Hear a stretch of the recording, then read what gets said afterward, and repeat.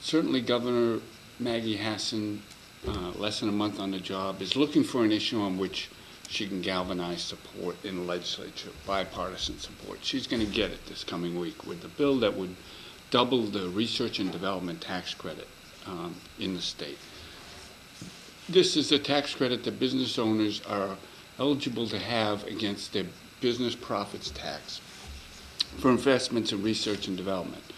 It has a hearing before the state senate, Ways and Means Committee uh, this coming week, and there's no doubt in my mind this bill is going to fly through very quickly. Could even be a unanimous vote in the state senate. Both Senate President Peter Bragdon and the Senate Democrats have indicated it's both a priority for them. And let's not give them too much credit here. This is no big tax cut for business in New Hampshire.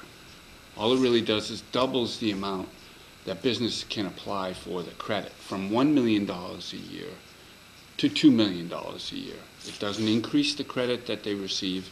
It doesn't make anyone eligible for the credit that they weren't already eligible for. What's happened is that businesses have been oversubscribing this tax credit uh, for a number of years.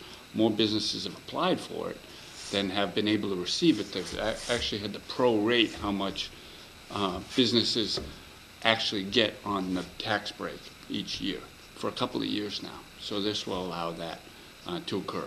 This uh, will be an early victory for uh, the legislature of both parties and a nice early win uh, for Governor Maggie Hassan.